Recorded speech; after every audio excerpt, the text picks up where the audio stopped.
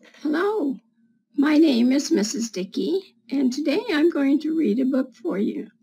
This is the book I'm going to read. The title is If You Give a Mouse a Cookie, and it was written by Laura Numeroff. Let's begin.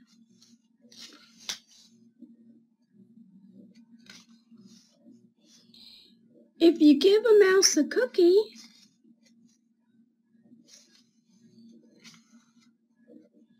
he's going to ask for a glass of milk. When you give him the milk,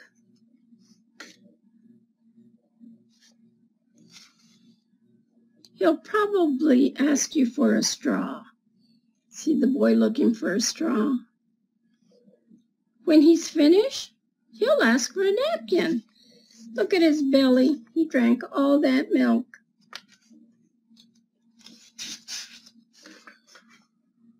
Then he'll want to look in a mirror to make sure he doesn't have a milk mustache.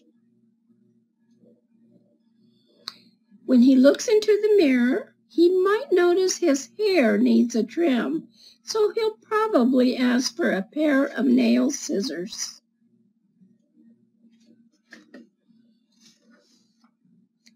When he's finished giving himself a trim, he'll want a broom to sweep up. He'll start sweeping. Isn't that nice? He's going to clean up his own mess. He might get carried away and sweep every room in the house.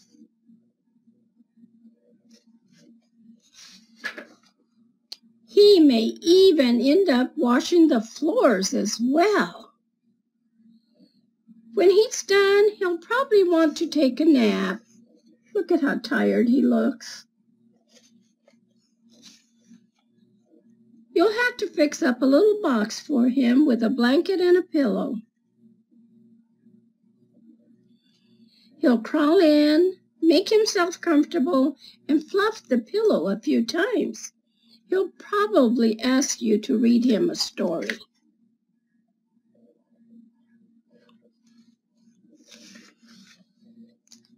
So you'll read to him from one of your books, and he'll ask to see the pictures we all like to look at pictures when we read, don't we? When he looks at the pictures, he'll get so excited he'll want to draw one of his own.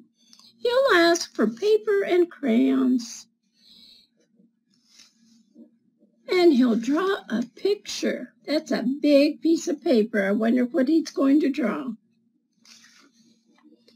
When the picture is finished,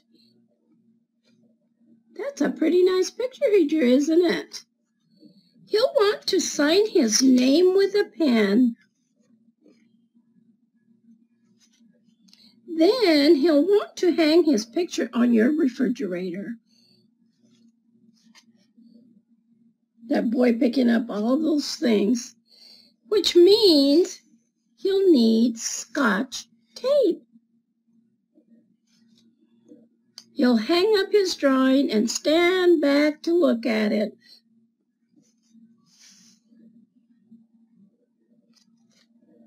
Looking at the refrigerator will remind him that he's thirsty. So he'll ask for a glass of milk. The boy's worn out, isn't he? And chances are, if he asks for a glass of milk, he's going to want a cookie to go with it. The end. Wasn't that a fun book? Thank you so much for listening, and I look forward to reading you another book sometime.